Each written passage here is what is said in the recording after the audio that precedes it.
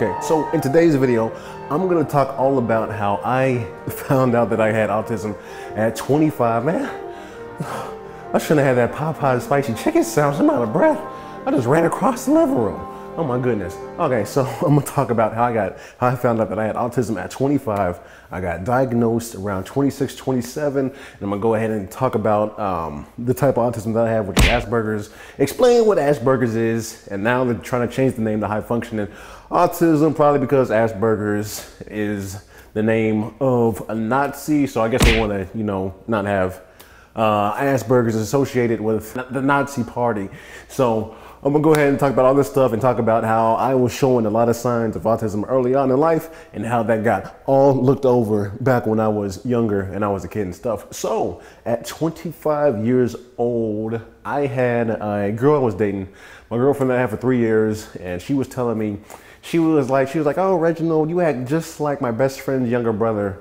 I guess she used to babysit her best friend's younger brother, and he has Asperger's and she was like, You guys act the exact same, except he has like zero motivation to do anything, and you're just like super motivated to do stuff all the time. So that's kind of like the first time in my life where I was told that I had Asperger's or autism. I actually believed it. Before that point, I had a mentor in LA. So I was living in Long Beach, California. So Long Beach, that's about 30 minutes south of LA. And I was living out there, chasing my dreams of becoming a filmmaker and I had a friend get me a mentor, and I was super excited to have this guy mentoring me because when I was younger, I wanted to go to school and become a music composer. So I used to play a lot of musical instruments. I played like 11, 12 music instruments back when I was in high school, and I met this guy through one of my friends who was a good friend of his. And the, this guy was like, he was in the industry. He did the soundtrack for Anchorman. He did the soundtrack for Talladega Nights. Now he had, you know, like TV show after TV show that he was writing the scores for and doing the, the composing for the music for all these shows. And I was like, man, you know, I need this guy in the industry, you know, be my mentor, help me out in life. So luckily, he needed a cameraman like me. So he needed a cameraman because he wanted to do a TV show pilot. Well, he didn't want to do a TV show pilot. He wanted to do a TV show sizzle. Now, if you don't know what a sizzle is, uh, I think everybody knows what a pilot is. The pilot is the first episode of a TV show. A sizzle is a really short version of the pilot, so maybe people don't have enough money to shoot a whole first episode because the first episode can be a few hundred thousand dollars to shoot. If you want to just do a little short, you know, like five, six, eight minute segment, that's called a sizzle, a really short, a really cheap just video you can put together so you can, you know, pitch the TV show and get it picked up. Okay, so this guy right there, he was telling me, he was like, Reginald, you know what? I think that you might be autistic. what? Bro, what are you talking about, man? and when he told me he was like, I think you might be autistic, I was I was insulted. I was offended. Coming from like the black community that I come from, you know, black people don't know too much about autism. So when he told me I might be autistic, in my head, I was just thinking back to, you know, in, in high school, in elementary school, in middle school, you know, the autistic kids, you know, they'd be on like the short bus, they'd be acting all crazy, they'd be like, you know, slapping themselves, they'd be attacking people at school, even though I was always cool with the autistic kids back in school, you know, and I'm not gonna, I went to school in the hood, so we had a few autistic people at our school that would go run after people and, you know, attack them and then and whatnot, just because you know they got that difficulties with you know social interaction. Some of them autistic people got their eyes dotted, you know, a little pop pop, little uh, Floyd Mayweather action. towards the special needs special needs kids just because my school was a little hood and a little ghetto. So I, I, was thinking back to like like that kind of autism. And he was like, and when I he saw me get like kind of upset when he was like, I think you might be autistic. He was like, he was like, oh no no, not like not like you're retarded or nothing like that. He was saying autistic. He was like, he was like, uh, I forget which autism form it is, where you might be more like a like a genius or something. You're good with math, good with numbers or something. He was referring to Asperger's uh, but he couldn't put a name on the actual title. So a few years later, after that, I started dating a girl, and like I said before, she had babysitted somebody with Asperger's. So when she was dating me, she could see that we were exactly the same, even though she probably didn't know the signs. She was just like you guys both act the same, talk the same, respond the same situations. And after that point, I went ahead and I went online and I took me a little, you know, self-evaluation autism test just that I found online. And after going through this test, I think they said on this test, if you scored like a 50, then uh, no, it, the score, you know, it's a, it's a questionnaire had like 50 questions on the questionnaire. It was like if you scored higher than 30, you're probably autistic. And I took this test, and after I took the test, my score was like 47 or like 46. So it was like way higher than 30, which is like people over 30 are considered you probably you're likely somebody autistic. So I almost got a perfect on this score for like autism, and I was like, oh my goodness, I think I might actually be autistic autistic at this point. After that point, I hired a therapist for autism, and we went through and did like a more official diagnosis test thing. And she was like, yeah, your test results have come back, and you are in fact autistic and have Asperger's. And when that moment came, it was such a relief because going through life with somebody with autism or with Asperger's, you do feel completely different from everybody else. One of the traits of having Asperger's is it's extremely hard to relate with other people. And since prob- since I think around only 1% of the population does have Asperger's or autism, you can just, you know, like 99% of people I just like don't relate with and they feel totally foreign to me. At some points in life, I felt like I felt like everybody else was just robots. I was like, am, am I the only like real person out here? Everybody else just feels like a robot out here because I can't relate to anything else that people are saying to me or expressing or any of that kind of stuff. So I'm going to go ahead and explain what Asperger's is. So autism itself, the word autism comes from the Greek word autos, which means self. Because when they first, you know, around the 40s and 50s, when they first were discovering uh, autism as being a, you know, just a different way of thinking that people had, uh, they noticed that all of these kids that they were working on that had autism, they all just loved being by themselves so much. So remember, when you hear the word autism, that comes from the Greek word autos because people just love being by themselves so much so when they were first going through and talking about when they first like found people as being autistic, here it says the date like 1911. So I guess a little bit earlier. So autism was first introduced in 1911 by Eugen Bleuler, a Swiss psychiatrist who used it to describe schizophrenic patients who appeared disconnected from the outside world. And he also used it to characterize individuals with a certain social withdrawal. According to the US government, Asperger's is an autism spectrum disorder characterized by impaired social skills and repetitive or restrictive patterns of thoughts and or behavior. A child with Asperger's may develop an obsessive interest in one narrow subject area and be completely unaware that the rest of the world does not share this interest and difficulty modulating the volume and tone of his voice. That was just one definition that I found. I really thought, you know, like hit the nail on the head on what autism is. So a lot of autistic people, you know, are really socially awkward and may have like delayed social skills. I think when kids are growing up, they develop social skills pretty quickly throughout elementary school and middle school. But for people on the spectrum, uh, being social is just a bit harder and a bit more work. Not saying that people can't be on the spectrum and be very, you know, good in social situations. They just have to work a bit harder to get up to, you know, the same speed as everybody else. So uh, one of the other things on the list was they were talking about people have people on the spectrum have a hard time um, putting different tones in their voices. And yes, people on the spectrum can be very monotone. I know when I was young, I was extremely, extremely monotone. And they also said that people on the spectrum that they can have hobbies and interests that kind of, you know, just over that kind of just take over their life and they become extremely focused on uh, on one task at a time. So when I first found out that I was autistic, I wanted to look around and see who else was autistic. And I found a list of celebrities that were all autistic to, you know, make me feel better about the diagnosis that I had just gotten. I'm actually making history tonight as the first person with Asperger's to host SNL. That's because I don't always have a lot of intonation or variation in how I speak. So I won't make a lot of eye contact with the cast tonight. Celebs with Asperger's would be Jerry Seinfeld, Elon Musk, Nikola Tesla, Andy Warhol, Sir Isaac Newton, Steve Jobs, Michelangelo, Mozart, Albert Einstein, and Bill Gates. Now, a lot of these people are just rumored to have Asperger's.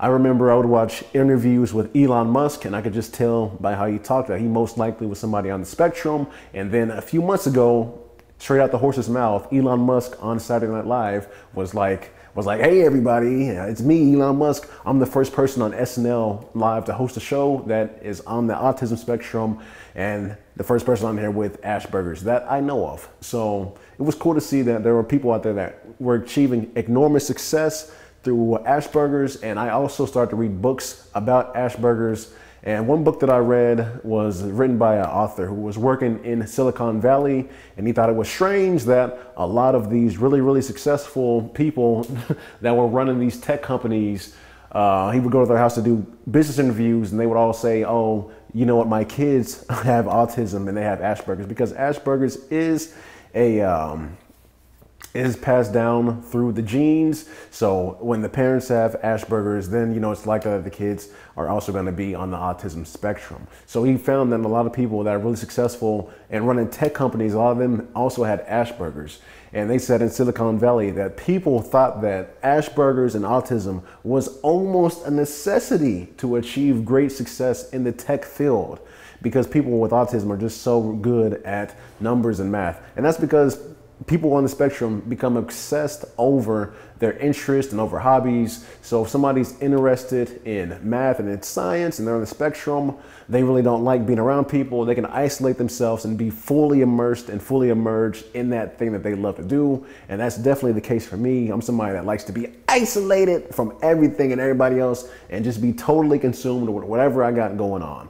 So next, I'm gonna go over some signs that I was on the spectrum uh, pretty much from the time that I was about four or five years old up to the time right now. Because like I said, I come from like the high school I went to was 85% black and our parents are black, of course, and in the black, black community, we don't pay. We, we not worried about autism. We worried about paying the bills. We worried about keeping the lights on. We, we I'm like, you know, some of that stuff kind of luxury when you just fighting your family fighting to stay on track with bills. We ain't got, we can't, we can't afford a therapist or psychiatrist or nothing like that. So, like I said, for a lot of you know black families, you know, they not too hip. They not too hip on you know uh, you know, mental stuff and, uh, and mental, you know, health needs and all that stuff. So here are the clear signs, all these should have been some clear signs that I was somebody that might have been on the spectrum. So kindergarten. When I was in kindergarten, I flunked kindergarten. I was held back in kindergarten. So basically, what my teacher told my parents is they were like, Your kid comes to school, he doesn't talk to anybody. We don't think he's ready to be a first grader. So, because I had a delayed you know, social development. I wasn't talking to nobody. They held me back, which sounds crazy. It still sounds crazy to me. But yeah, I got held back in kindergarten. I had to take kindergarten twice because they didn't think I was socially ready. They didn't think I was socially ready for the first grade. And then all throughout the rest of high school, I was like a whole year older than everybody else, which, you know, it came in handy for sports. For sports, I had a whole nother year to like develop physically. So I mean, that was that was great. Okay, and then uh, I did kind of have okay, and then the next point, I kind of had some like delayed uh, social, like not I wouldn't say social skills, but delayed like speech skills. So when I was talking when I was younger, I would talk with a lisp.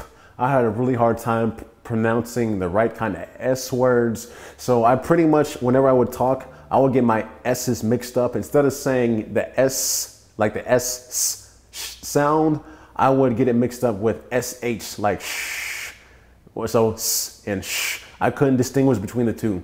And I remember one time when I was young, I was trying to say, because I was out at like Chuck E. Cheese, and I was I spent the whole day playing, and I sat down, and I was really tired, and I was like, whoa! After playing this whole day, I need to take me a nice long sit, like S I T, S I T. I was tired. I was like, I need to just sit down for a long time. But what I said was, I was like, I'm tired. I need to take me a nice long S H I T because I always got the two S's mixed up. Uh, my dad like turned and snapped at me. He was like, "Boy, what you just say?" so that was like a funny story I had about getting my S's mixed up. Okay, and then going into like middle school and high school, I would be talking to people and people would tell me they would have a hard time understanding what I just said, even though to me it felt like I was speaking very clearly. But I guess since I was speaking with like a lisp and just, you know, trying to rush. What I found out the issue was I hated talking to people so much. I would just talk really, really, really fast, trying to, you know, just get out of that social. I mean, every social situation, every time I had to talk to people was just so extremely uncomfortable. I would just talk twice as fast. That way I could go ahead and get the words out. I could just say what I had to say and then get up out that social situation. So I would talk really, really fast. I would slur my S's and I would be extremely hard to understand when I was when I was younger. And growing up, I mean, I mean, like now, I talk like better than I did when I was younger. But that's because I noticed my speech was really bad, so I would spend time talking to people on TV shows. No, I would talk to news anchors. I met some news anchors asked them how can I become better at speaking. So they recommended that I read books out loud. I would talk to actors on how to become better at speaking. They recommend reading scripts out loud. So when I was around 20, 21, I started reading books out loud and I started reading scripts out loud, like some Will Smith scripts, movie scripts, TV show scripts, you know, just anything that was entertaining. I would put on some headphones, put myself in front of a microphone and record myself talking so that I could get my speech to a, you know, just a level that I felt comfortable with. So that's why now I kind of just speak normally back, but when I was younger, my speech was really rushed and I was trying to, you know, just to get away from people and to get out of social situations as quick as I could. Okay, so earlier in the video, when I was naming people that were famous for like being on the spectrum, like Einstein, Mozart, it's rumored that, you know, autistic people can be extremely good at math, science, technology, and music. So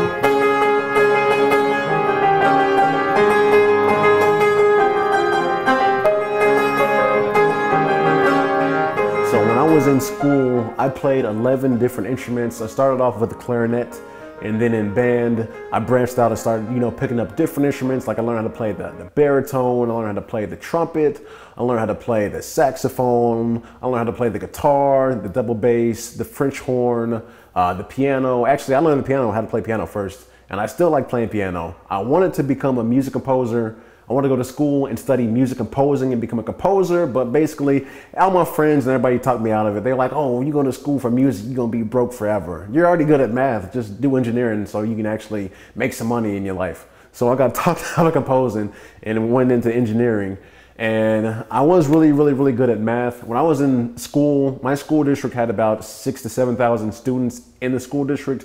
And I was the number one student in mathematics. When I took my ACT, or if you're in a different part of the country, SAT. I got a perfect on the math portion of my ACT. And this is at a school. At my high school, the average ACT score at my high school was a 14 and a half.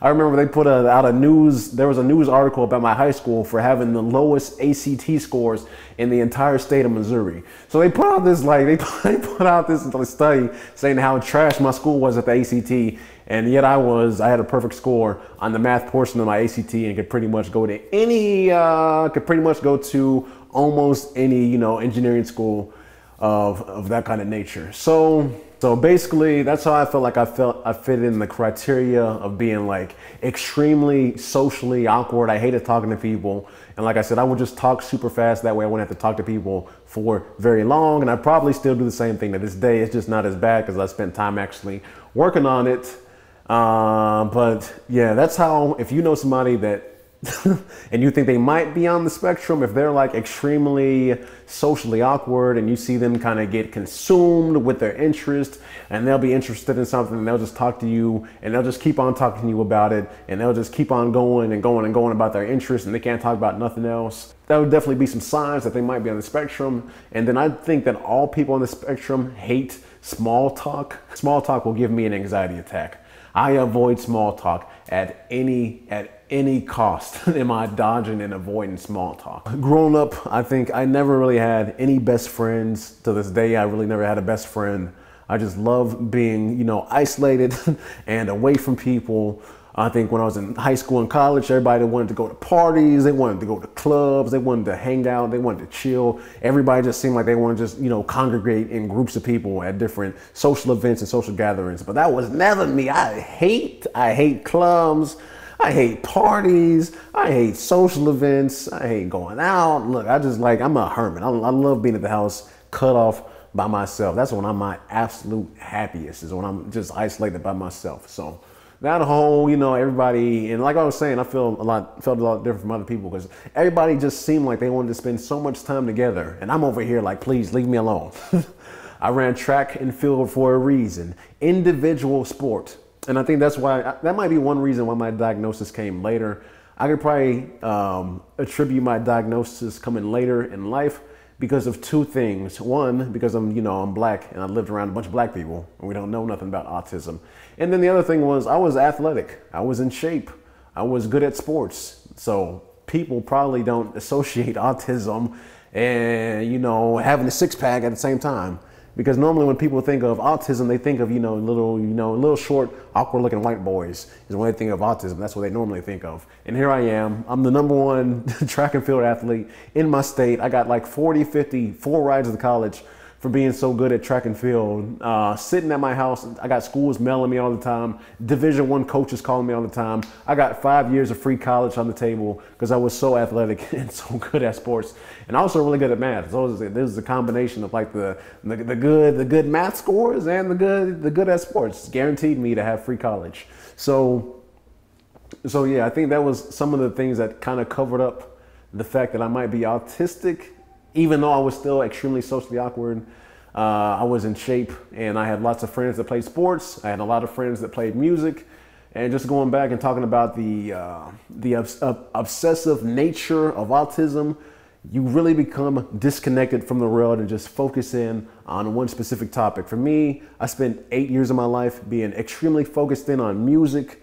Uh, I was learning all the instruments. I was studying music every single day. I was competing in music competitions. I was going to state in music.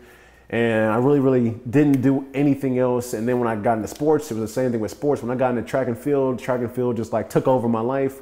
I talked about track all the time. In my spare time, all I did was watch track and field videos. I'd be reading articles on track and field, reading books, talking to coaches on track and field. It just consumed my life. And then now, so then I went to video, and then video consumed my life. And I've been doing video for like six, seven years now, and it's been a blast and a lot of fun. So, um, if you think that somebody that you care about, because I think most people watch this video won't be kids, they'll probably be older. So if you're an adult and you think that somebody that you know might be on the autistic spectrum, then one thing that you can do or things you can notice is see do they have you know delayed speech and social issues? Do they get a lot of you know anxiety? Do they, do they get angsty? Do they get uh, nervous around people? Do they you know have a hobby that they're obsessed with? Because for a lot of autistic people their you know interest may not be something that we would consider to be uh, something that can be make them successful. Like for elon musk his interest is like technology and science, something that pays a lot of money. Or for somebody that, you know, maybe their interest is computer science. So they're autistic and they're obsessed with computer science and coding. That's something that's very lucrative. Not everybody on the spectrum is going to have, you know, an interest topic for them that is something that's lucrative. Somebody might be interested in dinosaurs. They might know everything about there is to know about dinosaurs. Or maybe they're super interested in trains or maybe they're super interested in boxing. I, I, met one girl and she was telling me that her brother is also has Asperger's, and she said that, but her his bro, her brother's interest is boxing. He just loves everything about boxing. He can talk about boxing all day. He's horrible at talking to girls. He's horrible at talking to people in general. But when he, he when he meets somebody that likes boxing, he can go all day talking about boxing and stuff. So the interest could really just be anything and uh, just see when they're super interested and they seem kind of disconnected, like they're off in their own little world, then they might be somebody that is on the spectrum. If you think they're on the spectrum, you could, you know, tell them like, look, I think you might have Asperger's, but put it in the way. Be like, you might have Asperger's, but it's like geniuses have Asperger's. You could be like Einstein, the world's richest man, you know, Seinfeld, you know, all these people have Asperger's, I think if you look into it, it may help you out. Because I know finding out that I had Asperger's definitely helped me because I could go and I could read books about other people with Asperger's and learn how they could, you know, respond to different situations. And it has honestly made my life way easier to go through knowing now that I'm on the spectrum and I have Asperger's. Because now when I go out to social events, Uh, I could, you know, I could go out with maybe some headphones or something. That way, the social event isn't so overwhelming. If it gets to that point where it's just super overwhelming, I can just pop on some like noise cancellation headphones, and now I'm chilling, and I'm not about to have an anxiety attack. Or if I'm out somewhere, you know, maybe I need like a book or something, you know, just, just to take my like mind off of uh, the social pressure of being out and around people. So just knowing how I operate I can respond and just go through life a lot more relaxed and not have meltdowns and shutdowns. I really have really bad shutdowns where if I'm trapped amongst people, I will just leave. I've been in business meetings with people and I'm like, this, this just the social atmosphere. There's too many people in here talking too much small talk. I'm going to have an anxiety attack. I'll just walk out the building. I don't, just sometimes I just walk out of the building, just walk like three, four miles down the street just to get away from social environments. There's been times I've been in cars with people at a red light and I'll just jump out the car at a red light because I can't take the small talk and the, all the, the social stuff going on. It just feels like I, don't, I feel like I'm about to die because the social social stuff gets too bad. So uh, if you know somebody that you think might be on the spectrum, go ahead. Like I said, just Tell them about all the famous, successful people that might be on the spectrum, and that's going to help them understand why they're having a hard time with social interactions. And you can give them a test online. I'm going to put a link below for the test. They can take this test and find out all the info that they and find out if they're actually on the spectrum or not for free. You ain't got to pay no money. So uh, that's this video. Stay tuned for the next video. Hopefully, it ain't take three, four months for me to upload another one. But if it does, then I'll see y'all later.